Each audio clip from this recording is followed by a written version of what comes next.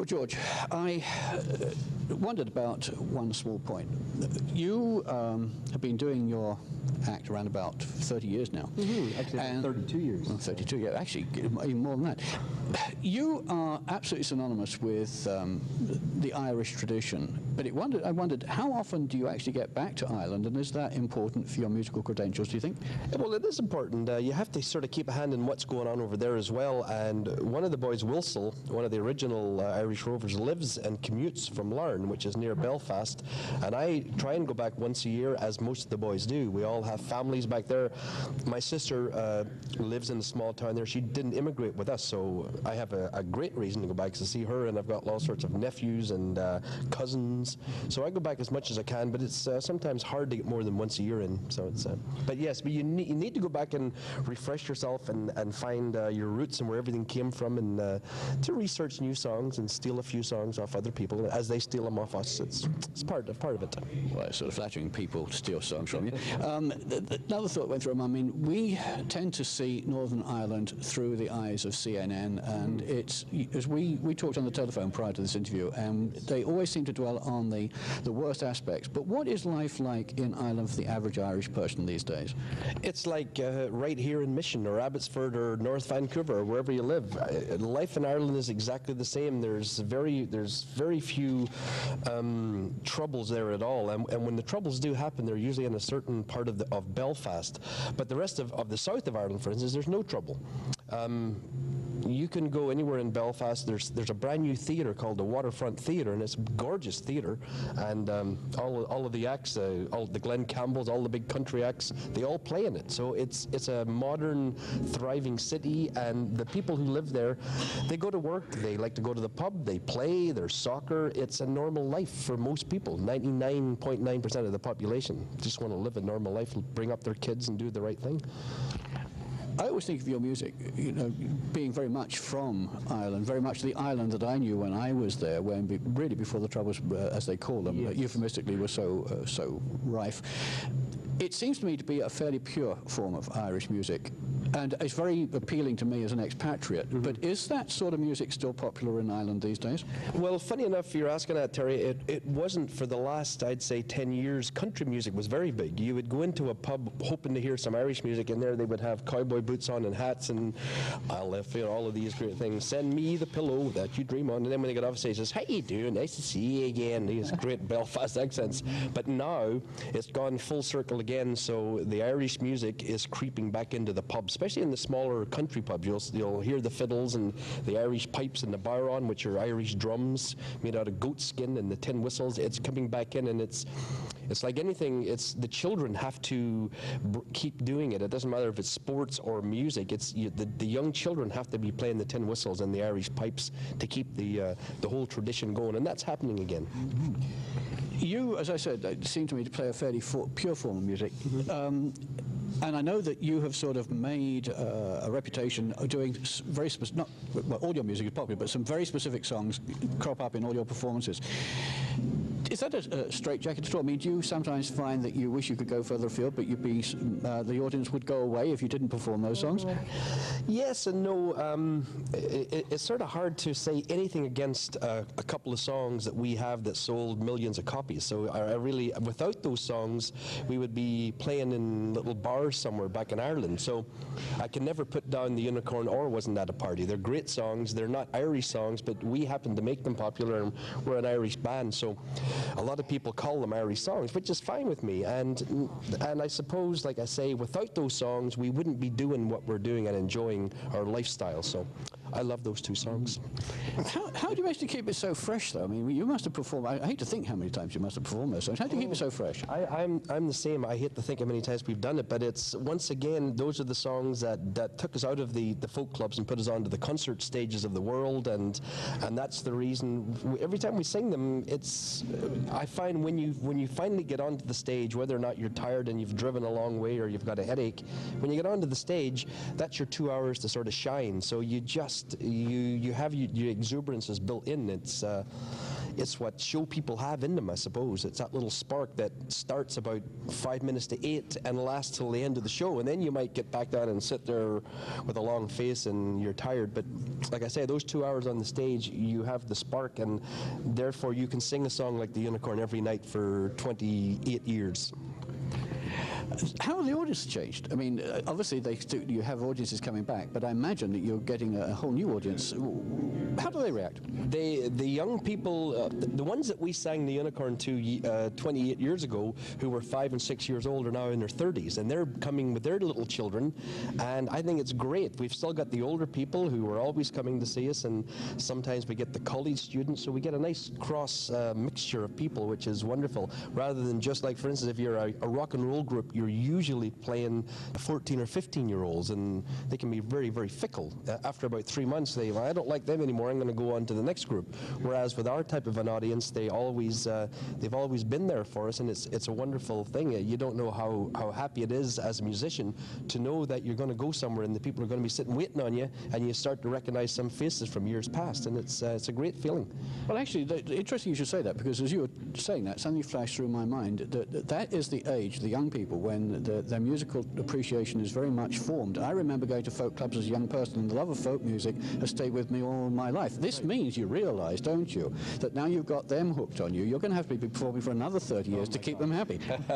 As a matter of fact, uh, just before the party became a hit, I think it was 1983, we had um, we had built some pubs across Canada for our older age and when we got tired of traveling, and so we were sort of coming into a semi-retirement sort of an idea, and then the, the song wasn't that a party came along and it put us right back into traveling six months of the year, and we, we were saying to ourselves, I thought we had semi-retired. We're working more now than we ever did, and. Uh, there's a whole Celtic revival right now, as you're probably aware of. Like some of the big uh, groups from the Maritimes, uh, they have started this Celtic revival. It's gone right across. Of course, the Riverdance is popular.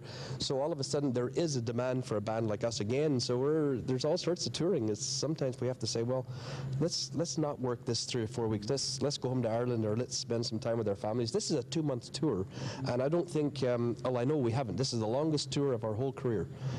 Never done uh, two months before, and it's it's a long, long time. So we're sort of looking forward to uh, getting home in the next week and relaxing. Well, you sort of answered my next question because what I was going to say to you was, uh, uh, with all the practice you had at doing touring, does it get easier or harder as you get older? I think you've answered that. Uh, you know what? We were just uh, talking about it today, and we were all raving because the hotel we're staying in has wonderful beds, and we're saying, oh, "Isn't this nice to have a really comfortable bed?"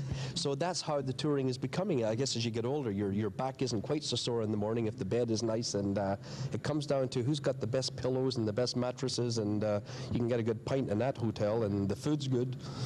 I think as you get older, it, it's hard to to uh, you're living out of a suitcase now for eight weeks. That's what we're doing. So your your day off is usually a Monday, and uh, that's when you're looking for laundromats and trying to get your laundry done because you've got another six days of shows to do. So it's very very base stuff that that we really do. We're very very common people, which is the way we've always been. Well, I mean, common and common, yeah. One of the things that I mentioned to you before we started this interview was that um, I think of your music as being a fairly pure form of Irish music. And you mentioned, of course, all the Celtic groups that are coming along, but many of them are putting their own spin on it, you know, heavy syncopation and so on. Right. Does that bother you? You strike me as being a very tolerant sort of guy. Does it bother you that they're not playing quite the pure music? No, absolutely not, because um, there's a lot of purists would say that we're far from being pure. They would say the chieftains are pure because they play all of these wonderful melodies, whereas we take them and we add words to them, or we sing songs like maybe things like whiskey in the jar, and the real purists would say, ah, that's not even an Irish song, and that unicorn is not an Irish song. So, whatever you know, everybody has their own degree of purism, and uh, ours is entertainment. The chieftains are, are very traditional with their music. They're great musicians, and that's just the way it goes. Everybody is a bit different, and, and I'm glad they're a bit different because if we were all the same, it would be a pretty pretty boring world. Every it's like people. Everybody's different, and everybody has a different taste in music, and uh, everybody has their own idea of Celtic music, which is fine. The younger groups probably yes have much more of a beat with their drums and all than we would use, and that's that's just the natural progression of folk music, I think.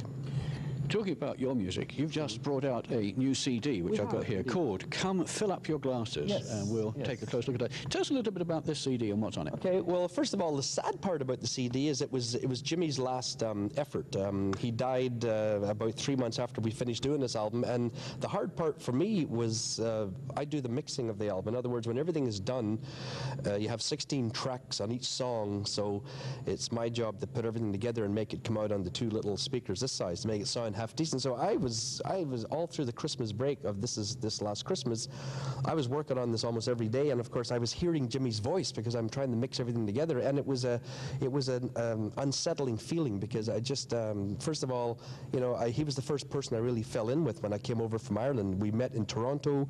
We started the band together when I was 16 years old. So I mean, I've been with him almost every day of my life for the last 32 years, and then for him to go so suddenly, it was very very hard for me. And then to listen to his voice was uh, was like the Twilight Zone or the X Files or something. It was weird. The thing about that, and it must have been an, a tremendous shock to everybody, although I suspect from something you said to me that wasn't totally unexpected, but looking at his lifestyle, but it did cross my mind that he went out after a standing ovation and a, a ma- most successful appearance in Massachusetts, wasn't it? No, it was, yes, he died in Massachusetts. The night before we were in New York, I think it was Westbury, and we were playing there to a sold out audience, and he got a standing ovation. They loved the jokes, and it was the next day we had driven to about 150 miles to, it was a day off. So we spent the day off, all, everybody was relaxing, and he went to bed that night, and he just never got up. It was as simple as that. And uh, I found him in the morning, and he was, he looked very peaceful. He was, he had just passed on in his sleep and without a struggle. So I suppose if we all, we all have to go, and that's probably not a bad way to go. But he had had um, heart problems for the last uh, five years, and the doctor had basically said to him, "You have to change your ways. You have to stop eating so much and smoking and drinking." And uh, John or John, uh, Jimmy was our John Candy, is what I. John Candy was the same. He lived life to the end, as did Jimmy. He just he went the way he wanted to go. It's sad, but I, you know, we all tried to to have him stop and and slow down, but he wouldn't do it. You've had a couple of um, uh, traumas during the course of the, the last few years, and also you've added some new faces to the band. Has that changed the band at all? Well, it, it hasn't really, and I'll tell you why. Uh, first of all, my brother retired from the band about four years ago, and it wasn't always on the best of terms when he first quit. There was a lot of unwritten things. That, um, when we started the band, the last thing we ever thought about was, first of all, A, making it as a band. We were doing this for a bit of sport. We didn't think anything would ever come of it. I was just finishing school, and I was very happy to get on the road at the age of just turning 17. So in those days when we started, we didn't really have any contracts in place for what would happen if somebody would want to leave. We figured we would all go out together or nothing would happen at all. So the day of somebody leaving the band after 30 years wasn't really looked after.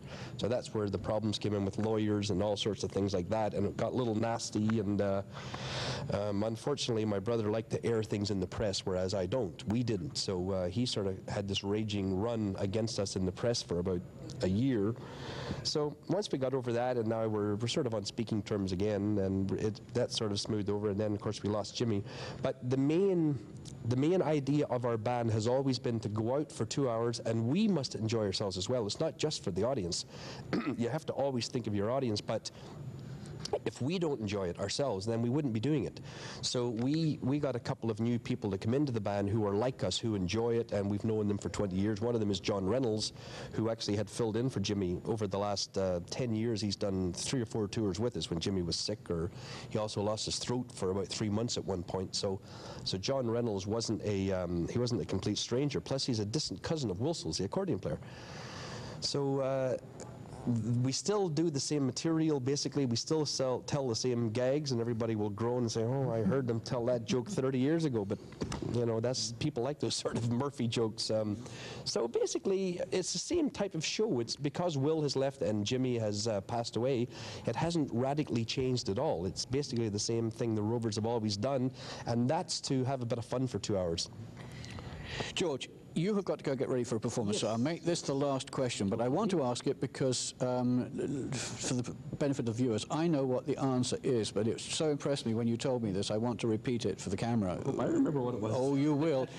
I asked you on the telephone before setting up this interview what it is that you are passionate about outside of music. Do you remember what you told me?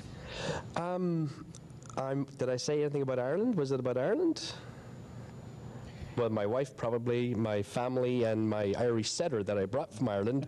Those are the things that are most important to me in life.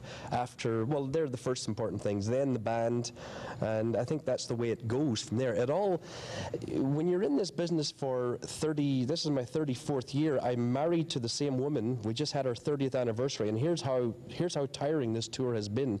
Betsy has been on the tour selling our merchandise. We um, we did the show. We came home to our room, and we both looked at each other at the same moment, and we said, "This is our anniversary, isn't it? March 22nd." We both said. Oh my God. And I said, You haven't got me a card, have you? And Betsy thankfully said, No. And I said, Oh, good. so we both forgot on it, which is just last week. And, um, but that's just, we've been together all those years. And it's, uh, you know, I think you have to, when I'm traveling so much, she basically brought up the children, looked after the household, and did all that sort of stuff. I couldn't have done it alone without her. So that's definitely my number one priority, no doubt about it. Well, I think that is the a most charming answer, and I don't think we can improve on that. So what I want to do is simply say thank you so much for taking out a huge amount of your time. Well, no, Have a thanks for your great show tonight, Well, we'll try, yes. And uh, we'll see you back here again in another 18 months. Would love to. And as they say, Sláinte, which means health to you all. It